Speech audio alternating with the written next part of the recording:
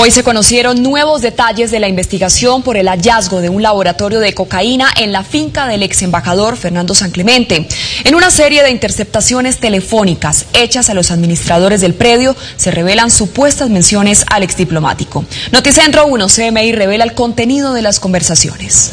Él es Laureno Martínez, alias Tractor, quien es señalado por la Fiscalía de hacer parte de la red de narcotráfico que operaba en la finca del ex embajador Fernando San Clemente. Este noticiero tuvo acceso a un extracto en el que la Fiscalía lee una parte de una interceptación telefónica en el que Tractor habla sobre cómo será su defensa ante el ente acusador y su relación con el ex embajador. Él mandó un abogado de él para hablar con San Clemente directamente para saber qué hacen, que está preparado, que se les toca presentarse, pues les toca, que toca esperar que a ver qué dice el viejo porque si se ve jodida la cosa, toca desaparecer. En otra conversación, Tractor habla sobre los abogados que contratará y dice que los duros son los que tienen que pagar sus honorarios. Le pregunta a Laurano que si ya habló con alguno de los duros de arriba, porque ellos tienen que pagarles el abogado.